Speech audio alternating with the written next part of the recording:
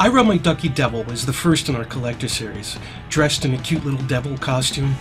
He floats, he's waterproof, he's also a dual pressure point massager. His head and tail is good for that. To turn him on, just simply press his back. Not only that, he comes in travel size.